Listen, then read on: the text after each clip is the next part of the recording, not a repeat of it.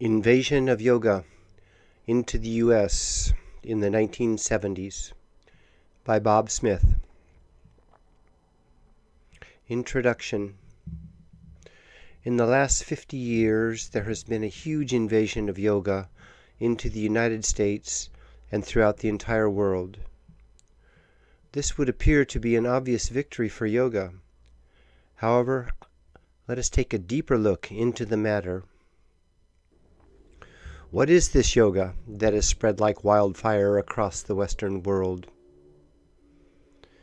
It even appears that in the West the word yoga has become synonymous with asana practice. But is this a true reflection of what yoga really is? In this chapter, we will explore what has happened within the American yoga scene over the last five decades. Mainly, the focus will be upon how yoga infiltrated the U.S. in the 1970s, as this decade has had a huge impact on how the invasion of yoga did indeed occur. I will begin this discussion by citing three misnomers concerning yoga that have been incorrectly accepted into the Western psyche. The three blatant misnomers being carried forward by yoga practitioners of the West today are 1. Asana practice and yoga are synonymous terms. 2. Asana practice lies at the heart of yoga and by design will lead the practitioner to the goal of yoga. 3. The asana practice that Westerners have embraced is a traditional system of yoga that was ready made to be transported to the West in the 1960s and 1970s as a tightly organized system that has long been agreed upon by the sages and rishis of India. Let us give correction to the misnomers just pointed out. Asana practice and yoga are not synonymous terms, as asana is just a beginning step into the vast field of yoga. Asana practice does not lie at the heart of yoga and will not necessarily lead one to the goal of yoga. And three, the asana practice that is being carried forward into the West today does not have much backing from the present or the ancient sages and rishis of India. The yoga that is being practiced today in the United States appears to be little more than a well thought out physical exercise program, which does have its benefits, but falls well short of the stated goal of yoga union of the individual being with the divine being. Timeline of yoga in the U.S. Yoga in the late 1800s. Swami Vivekananda was the first person to bring yoga to America. His speech at the World Parliament of Religions in Chicago in 1893 opened the door for yoga to come to America. Yoga in the 1920s. Paramahansa Yogananda came to the U.S. in 1920 and spread his brand of Kriya Yoga across America for more than three decades. His book, Autobiography of a Yogi, remains a yoga classic and has become the most popular book on yoga ever written. Immigration Ban on Indians, 1924 through 1965. In 1924, the United States Immigration Service imposed a quota on Indian immigration, making it very difficult for any Indian sage to travel to America. From 1924 through 1965, there were very few Indian yoga teachers who made it into the U.S. Yoga in the 1950s. Indra Devi.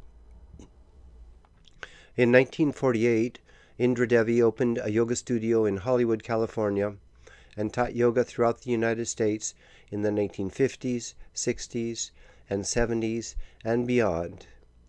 She was the first Westerner to study with the famous Sri Krishnamacharya and the first to bring his lineage to the West. Richard Hittleman Richard Hittleman sold millions of copies of his books on yoga, beginning in the 1950s, and pioneered yoga on television in 1961. Yoga in the 1960s. Swami Vishnu Devananda. Swami Vishnu Devananda's book, The Complete Illustrated Book of Yoga, written in 1960, became an essential guidebook for Hatha Yoga practitioners in the late 1960s and 70s, including myself. He founded many Sivananda Yoga centers in Canada and the US. Transcendental meditation spreads across America. Maharishi Mahesh Yogi brought his version of meditation to America in the late 60s and in the 70s. Transcendental meditation centers have spread throughout the world. Ram Dass Ramdas became the Pied Piper for American youth. The former Harvard professor left on a pilgrimage to India in the late 1960s as Richard Alpert. He returned with a guru and a new identity.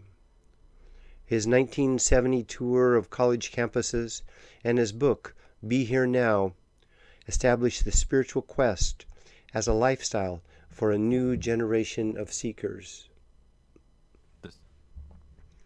America removes Indian immigration ban.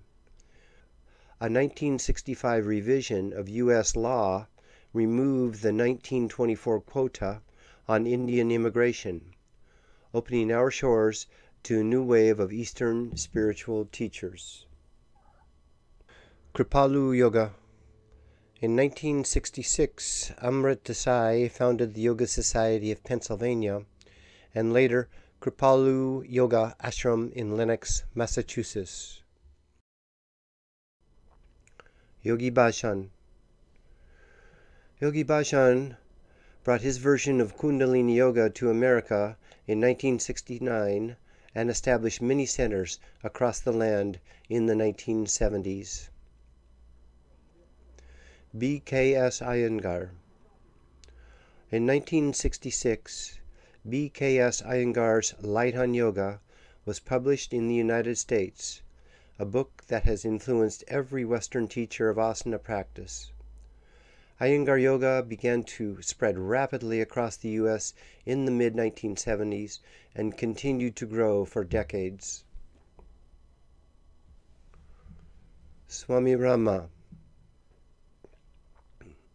Swami Rama amazed researchers at the prestigious Menninger Foundation in 1970 when tests showed he could control his autonomic nervous system functions, including the heartbeat, pulse, and skin temperature. Swami Rama founded the Himalayan Institute in Honesdale, Pennsylvania.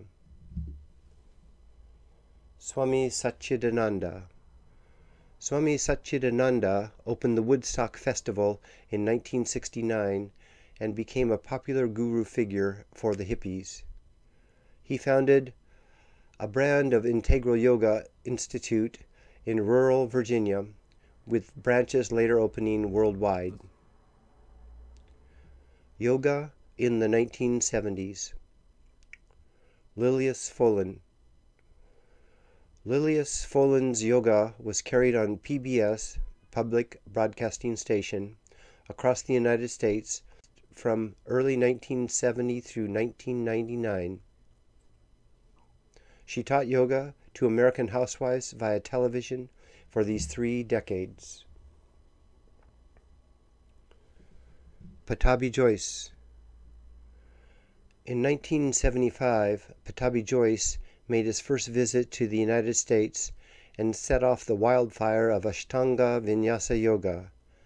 It was in the 1980s and 90s that his rigorous style of asana practice especially grew.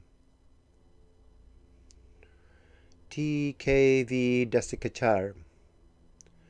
In the mid 70s, T.K.V. Desikachar, son of the great master Sri Krishnamacharya, brought his Viniyoga to the West. B.K.S. Iyengar dominates the American yoga scene. From the mid 1970s on, Iyengar Yoga became the most popular form of Hatha Yoga that was practiced in the U.S. Iyengar's book, Light on Yoga, has gone on to become the most popular asana book ever written, and his reign lasted for decades. His style of teaching and legacy will be looked at and assessed in a later part of this chapter. Ram Dass, the most popular yoga guru of the 70s.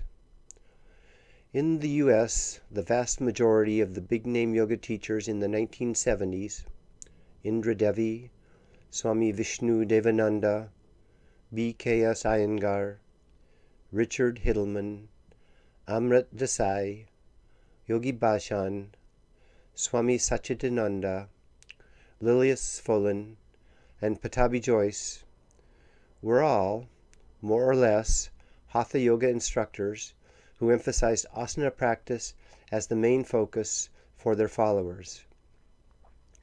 Each of these teachers brought forward their own personal version of the system of Hatha Yoga, and what is startling is that there is little evidence to show that these guru figures came to support each other in the endeavor to spread yoga across America. It was each guru out for their own good and out for their own profits. It must be emphasized that the most popular yoga guru throughout the 1970s was Ram Dass. He did not teach asana nor pranayama, as he had steeped himself in a devotionally based system of yoga, as well as a service based yoga.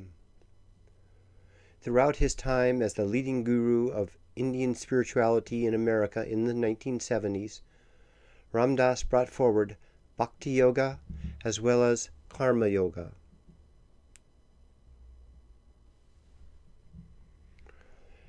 How I came to yoga. For reasons cited in the previous chapter, the late 1960s and early 70s were a ripe time for yoga and meditation to invade America. How did I come to yoga? And what was the decade of the 70s like for me? In the late 1960s, the Beatles introduced Maharishi Mahesh Yogi to their fans, and he brought through a particular brand of mantra meditation practice called Transcendental Meditation, TM. Personally, TM practice was not for me However, I was completely attracted and drawn to certain of the big name gurus who came through Seattle to give their meditation talks at public venues in the early 70s.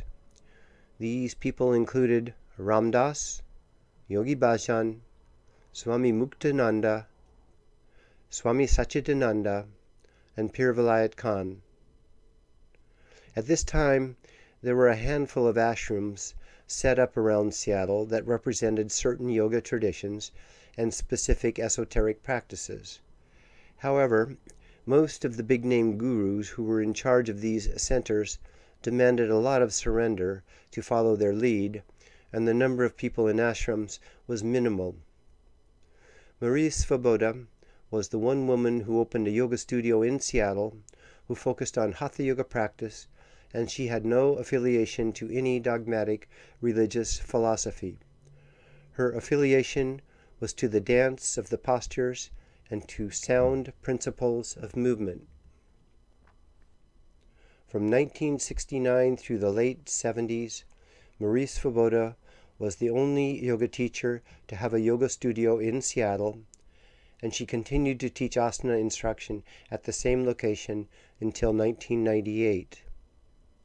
From the late 60s through into the late 90s, Marie was the hub of the yoga scene in Seattle and was recognized by one and all to be the undisputed yoga queen of Seattle for three straight decades. She created her own unique style of asana practice and asked her students to do likewise. She taught pranayama and meditation and many kinds of yogic concentration exercises. She taught that body awareness should be brought forward in as many circumstances as possible.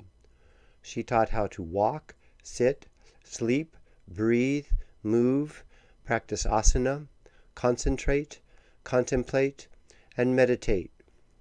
She taught the ancient system of yoga in the modern context of people's lives in Seattle. Asana practice and the grand picture of yoga.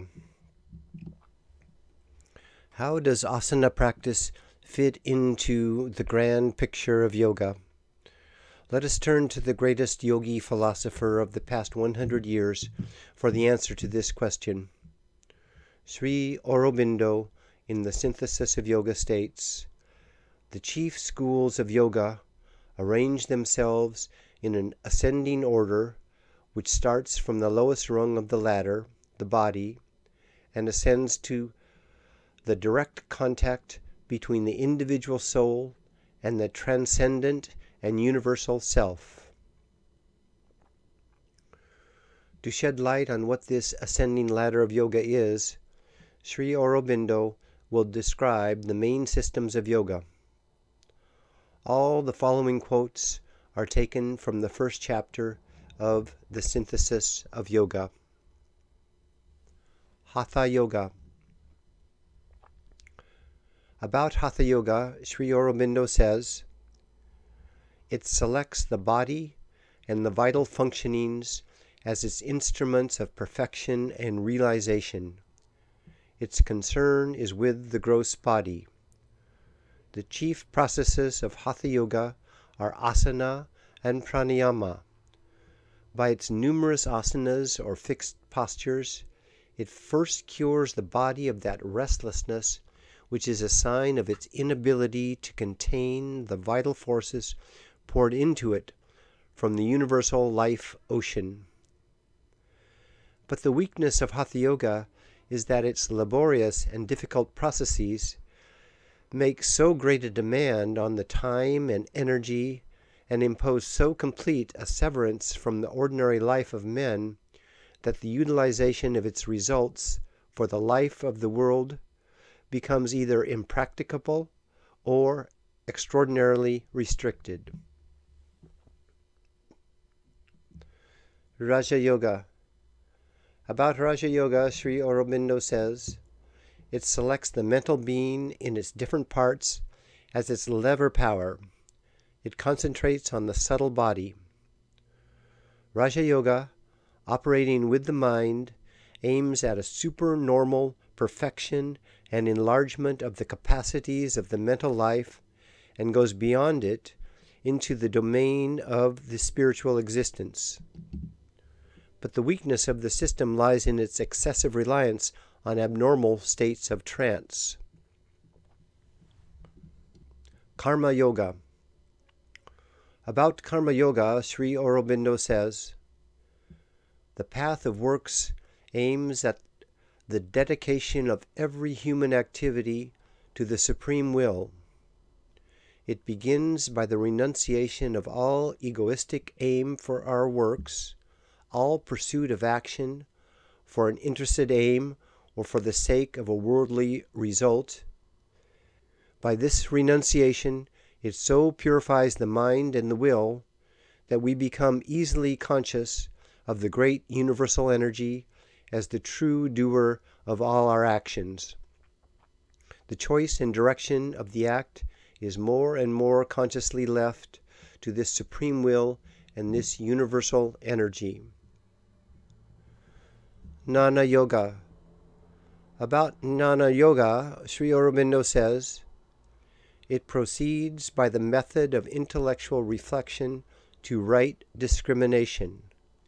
It observes and distinguishes the different elements of our apparent phenomenal being and is able to arrive at its right identification with the pure and unique self, which is not mutable or perishable, not determinable by any phenomenon or combination of phenomena.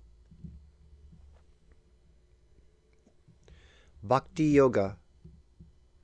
About Bhakti Yoga, Sri Aurobindo says The principle of Bhakti Yoga is to utilize all the normal relations of human life into which emotion enters and apply them no longer to transient worldly relations, but to the joy of the all loving, the all beautiful, and the all blissful. Worship and meditation are used only for the preparation and increase of intensity of the divine relationship.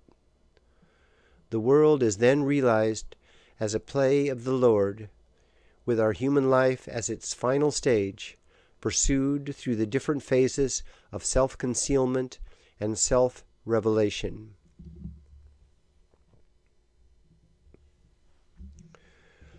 In looking at the main systems of yoga as described by Sri Aurobindo, it is easy to see that Hatha Yoga has been the one branch of yoga that has been the primary focus of all the yoga systems being brought forward to the American public during the past five decades.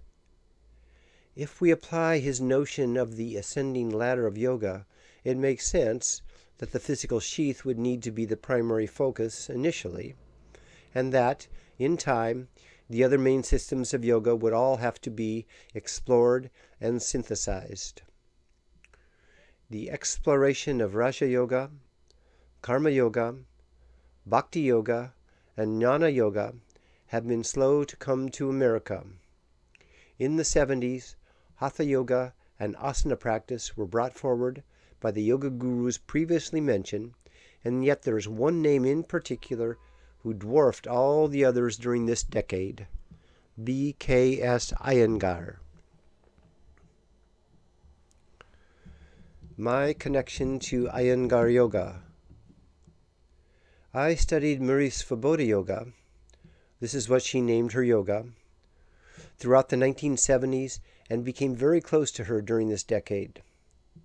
She functioned somewhere between a mom, a lifestyle coach, and a yoga teacher for me.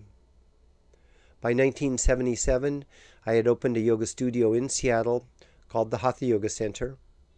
By 1980, I had written an asana book titled Yoga for a New Age A Modern Approach to Hatha Yoga. The book was, of course, dedicated to Marie. I began studying with Marie in 1971 at the age of 22. I was quite stiff from all my earlier years of athletic competition, and it was quite a challenge for me to get with Marie's program. In spite of my body challenges, right from the beginning of my studies with her, I knew that yoga was the path for me. In the 40 years she taught yoga in Seattle, a lot of different styles of hatha yoga came to the forefront, and Marie was always open to seeing what else was being taught in the name of Yoga Asana instruction. She watched the explosion of the Iyengar approach to yoga that swept through Europe and the US in the mid to late 70s and throughout the 80s. She studied with BKS Iyengar in India for three weeks in 1980 as she wanted to experience the man in person. It turns out she was diametrically opposed to many of the Iyengar principles of asana practice, such as excessive holding of any of the asanas, the brutality which BKS Iyengar adjusted his students, internal rotation of the hip joints in Tadasana, the locking of the kneecaps, the egoic show personality that Mr. Iyengar brought forward when teaching, and so much more. She honored his dedication to practice and honored him as an ambassador in the pivotal position of helping to spread yoga throughout the globe. And yet, after she came back from spending three weeks with him in Pune, India, she made one thing very clear to me. She said he should not be teaching yoga. She further clarified this by saying that because of the physical brutality and psychological harshness by which he taught, he should not be allowed to teach any more. If there had been some kind of World Ethics Board that weighed in against the way asana instruction was being conducted by him, he may have been stopped from teaching. Certainly there was no such ethics board such as this, and Iyengar Yoga continued to blossom throughout the 70s, 80s, and 90s. It was the San Francisco Bay Area where Iyengar Yoga first popped up in the U.S and where the Yoga Journal was founded. I personally had taken dozens of yoga workshops with many of the leading Iyengar teachers of this area in the late 1970s. Many of these workshops that I attended were held at Marie's studio, as she invited many of the well known Iyengar teachers to come to her studio so she could see what they were all about. And the result was always the same. In each of these yoga workshops, I was mercilessly punished by whomever the Iyengar yoga teacher was, and it always felt like I was getting beat up by some puppet of Mr. B.K.S. Iyengar. After three years of giving it a go, I just said no to Iyengar yoga, and have been better off ever since. Mr. Iyengar had a part to play in the spreading of yoga into the West. However, he had little to do with the kind of yoga I was practicing. My connection to Ram Dass. Ramdas, on the other hand, had a huge influence upon my every move, especially from 1970 through 1975. I was introduced to yoga through his book, Be Here Now, published in 1971, a book that was wildly popular amongst the hippies.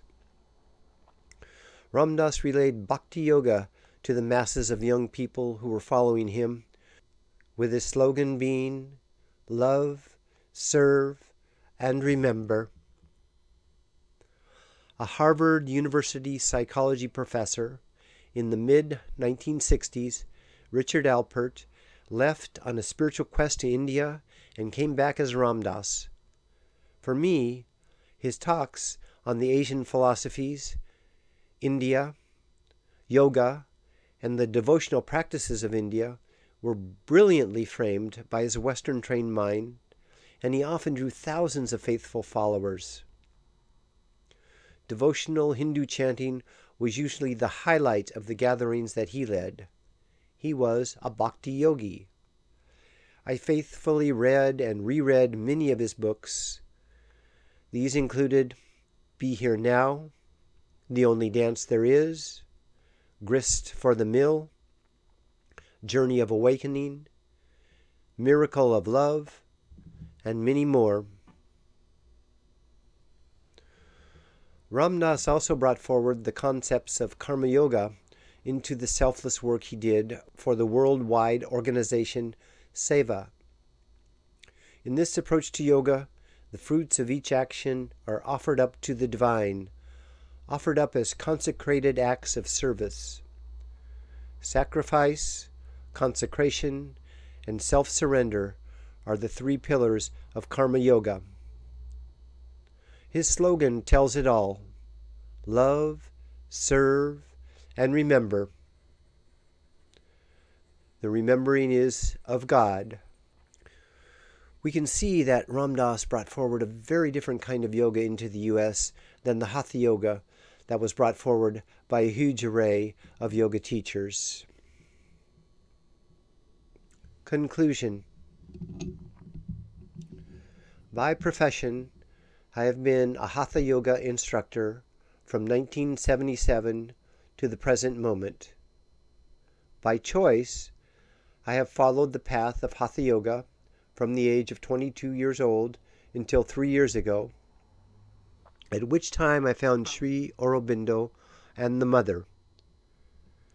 Now I follow the path of integral yoga. It has been a grand ride. So far, the yoga that has been carried forward into the West is a small portion of one branch of yoga.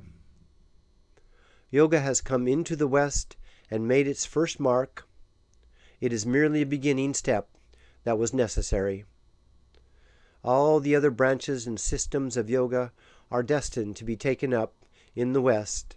However, I cannot impress enough the need for an integral yoga to guide the Western practitioner, as only a synthesis of all the main systems can carry us forward into the new age. What would an integral approach to yoga look like? I will bring the 70s yoga discussion to conclusion through a summary of the synthesis of yoga, the modern day treatise on the subject matter of yoga. It is through Sri Aurobindo's synthesized yoga that we can begin to understand the full spectrum of yoga in the context of the modern world. Sri Aurobindo tells us that Hatha Yoga and Raja Yoga are foundational systems in the preliminary stages of yoga and form the lowest two rungs of the ladder of the systems of yoga. These two systems of yoga do have their place in the full picture of yoga, but they are not the end all, and Sri Aurobindo only mentions them as preliminary practices that lead to the three main branches of yoga. The three main systems or branches of yoga are the yoga of divine works, karma yoga, the yoga of integral knowledge, Jnana yoga, and the yoga of divine love, bhakti yoga. Along the path of yoga, each student initially is drawn toward Hatha Yoga, Raja Yoga, Karma Yoga, Jnana Yoga, or Bhakti Yoga. And this initial inclination is to be followed and developed. However, from the first tributary, we can make a link into the other four. Ultimately, we need to find an integral approach that develops all five of these aspects of yoga into a synthesized whole. It is only a complete synthesized yoga that can carry humankind forward into the new age of greater awareness.